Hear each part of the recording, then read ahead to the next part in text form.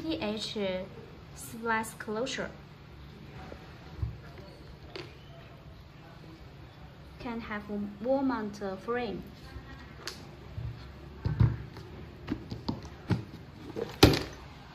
Two layer. One layer for splice fusion splice max 196 cores. Here can put uh, adapters and fast connectors. FTTH drop cable here. Three holes in, three holes out. Accessories.